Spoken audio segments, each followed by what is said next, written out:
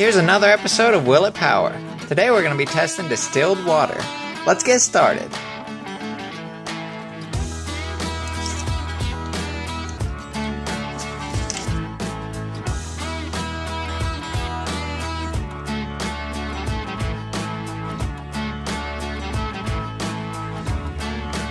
As you can see, the distilled water cannot power the potato clock.